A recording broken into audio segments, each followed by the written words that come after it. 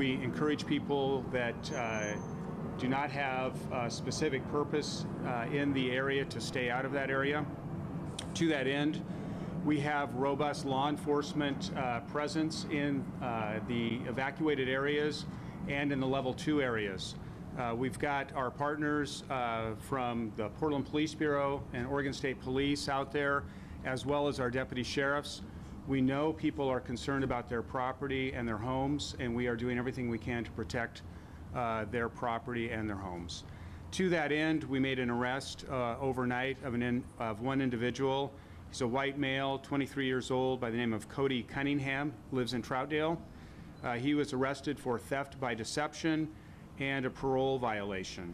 Uh, he was arrested after he contacted fire officials and obtained fire clothing from them. Uh, MCSO deputies were contacted by the fire officials. We responded. We knew the individual in question and later tracked him down in Troutdale and made an arrest. I'm happy to provide any additional information about that if you would like. Uh, Lieutenant Chad Gaidos is going to be providing the booking photo of that individual to all of you. You know what he was planning to do with the gear? Uh, At this point, we don't uh, uh, know what his intentions were, but certainly they were uh, not good, and we're hoping uh, that through the interview processes, we are able to determine what he was doing out there. We continue to contact people who have no specific reason for being in that, in that area, and we are encouraging them, uh, strongly encouraging them with our law enforcement presence to not be in uh, areas that we've evacuated. Could you say again what exactly? Uh, Fire clothing and other related gear.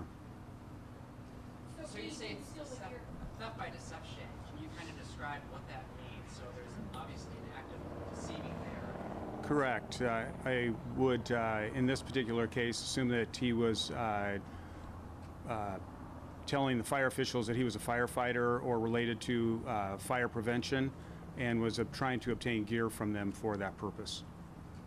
Would the obvious area you're trying to investigate is to figure out if he's, you know, where this stuff is kind of a disguise to go and get into a house? Correct, yes. How was he ultimately uh, discovered not to be a part of this fire? The uh, fire officials uh, that provided him some of their gear uh, took his name and contact information, and our law, and then passed that information on to our law enforcement deputies, and they did an investigation, followed up on it, and made an arrest. Sheriff, who should be in those areas? Well, uh, in the evacuated areas, we do have some folks that are checking on their property, moving livestock out of the areas.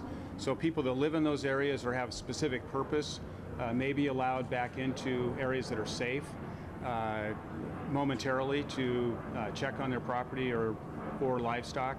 But certainly, we are encouraging people out of that are uh, evacuated out of those areas to stay out of there, and that's why we have that law, that robust law enforcement presence to make sure that people's homes and their property is safe.